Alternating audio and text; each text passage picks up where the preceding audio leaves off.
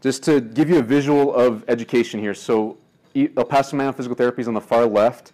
Um, the blue is a bachelor's degree, yellow is a doctorate, orange is residency, red is fellowship. Yeah, I've been to school that long. It's a long time. Most PTs here in town actually just have master's level training with, you see the green right there, six years. And then most chiropractors have eight years of training. So this pathway on the right here, I'm just going to tell you a story of a typical patient going through a traditional physical therapy clinic, outpatient clinic. I'll start by talking about the current state of PT. Clinics will usually see three to five patients at a time. The treatments are usually performed by physical therapy assistants, in some cases technicians as well. And it's common for these patients to show up three times a week for up to eight weeks, sometimes longer. Um, it turns out they'd go for about 24 visits total if they're going for two months. It's kind of a lot of therapy. So when I was working in this environment, I would usually ask the patients, tell me about your back pain, for instance. And I get a response like this. I went to therapy for two months uh, for my back pain and I got a little bit better. It's been six months since that. Now my pain is about the same. Um, the surgeon says that I could use surgery, but I really don't want that. And I'll go on and ask the patient, well, who did you see during your last bout of therapy? And they'll say something like this. I saw the PT for the first visit, then I saw the assistants for about three weeks, and then I saw the PT again. So they only really saw the PT for a, couple of visits throughout the course of a month. Now, let me talk about PTA training a little bit. Um, they're associates level, uh, licensed individuals. And just to use an analogy, um, how many of y'all have cars and have had, ever had to get an oil changed? Pretty much everybody, right? So when you get an oil change, this is the equipment you'd need. It's not really that much. A lot of people do it in their garage. I mean, it looks like that's someone's garage right there. I take my car to Jiffy Lube, and usually a you know 18, 19 year old kid does it in 30 minutes or, or less if it's not too busy. No big deal for someone like that, right? Well, let's say their check engine light comes on, and then you hear a thump coming from under the hood somewhere. Something serious is probably going on. Um, let's say you take that car to the dealer and have the mechanic look at it, and they say, hey, your transmission is not working too well we're going to send you over to the transmission specialist. That transmission specialist has got to have this picture of a transmission in their head so they can know how all these parts fit together and what needs to be replaced or fixed. Um, same analogy for a physical therapist assistant versus a physical therapist. So going back to the story, then patient goes a little further along in PT in a traditional environment, and then they say this, my pain has not gotten better, so I'm scheduled for surgery next month. This would leave me so frustrated. I looked like this at the end of every day seeing all these patients because I just knew that I could do better. And if I had the time to be able to work with them, they could probably prevent having a surgery or some serious injury. And I just always felt like I was falling short in this environment. So I had to create a new way to do physical therapy. It's actually not new, it's happening all over the country.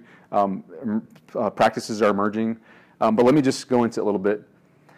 So that's the current state. Again, all those patients, assistants, many visits. I want to shake that up, just make it completely different. I want to position my company as a place of education where we can catalyze the physical therapy world here to improve. Um, the number one thing that I want to start to do is decrease the amount of visits done. I think we really overdo it on how many visits need to be done for each patient. Um, this is going to be a cost and time effective solution for most patients. Um, and then the other big thing that I like to do is educate. I love teaching. Um, so I want to help PTs here in town that want to pursue fellowship training by being a mentor. So once I'm done with my fellowship training, I'll be able to help them out with that. I've also started to teach at UTEP so that I can introduce these ideas and concepts to the PT students coming through the, the physical therapy program. I love this quote. This is the one that jo Joseph read. Only the mediocre are always at their best. Just to expound on it a little bit, you know, once you feel like you're kind of settling in and, and you're getting good at what you do, that's time to say, hey, I'm probably being mediocre. There's got to be something I could do better. Um, so that's something that always drives me. Another quote that I really loved and made me start my company is, you must be the change you want to see in the world by Mahatma Gandhi. Um, I want to change physical therapy here in town. It's a, it's a tall task, um, but I think that it's going to be fun and, and worthwhile. And I need your help to do this. So by you guys um, experiencing me and seeing what I, what I can do and other therapists that I have coming along the way uh, working through this company, um, I think that you guys will help us keep in business and also um, educate more therapists. Um, so your referrals are greatly appreciated for that. Something that's always going to be expected out of our company, one-on-one visits with all our patients. by a doctorate level trained therapist. That's nearly unheard of in town. And then the visits are based on your pain. So if you're not in pain, no need to see you. The way we do this is by education. We teach our patients what is the root problem that is causing your pain. Then we show them some exercises that they need to be doing, and they do that on their own. I don't need to be there to stand around and watch and count reps or anything like that. And then I use the manual therapy techniques to speed up that process and make it happen a little bit quicker. Some caveats. So you need a prescription to start physical therapy in Texas. Any of those people that are listed, and I left flyers all over the tables so you guys can, can have them there with you. It has the, some charts on it. Um, any of those people can write your prescription. Um, I can't see anyone 65 and up. And oops, sorry.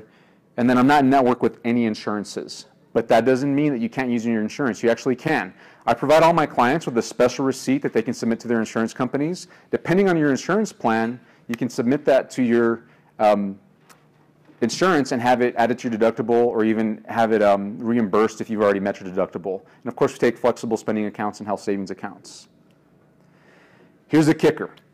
So on the right here, can't really see the words, but it's on your flyers. If you went to a typical physical therapy clinic and had a $50 copay, which is moderate. Nowadays with the new healthcare laws, it's actually more than that on average. Um, you're going to end up spending $600 out of pocket for 12 visits. With El Paso Manual Physical Therapy, it's going to be $360 for a month of therapy. And I come to your house, and it's a doctorate-trained physical therapist, one-on-one. So it's a, it's a no-brainer. It's 40% less. So Margaret, can I borrow you real quick? I just want to show you guys some quick techniques on uh, uh, manual therapy techniques about what I do so you can see it. Yes, please. Um, it does look kind of like chiropractic. Yeah, right there. It's fine. You can just lie down on your back. So I'm going to show you a neck manipulation. Can you take off your your glasses? And I've, Margaret's a patient of mine, so I've already screened her out and I know what's going on with Margaret, so all this stuff is safe for her. So just relax your head here. And I would have assessed and checked everything out first and find a stuck joint, and then I can pop it right there. and wrap your arms across your chest here. I just let that go. And I like to do this technique depending on what's going on. I, I always pick a special technique for the situation. Breathe in breathe out. Okay.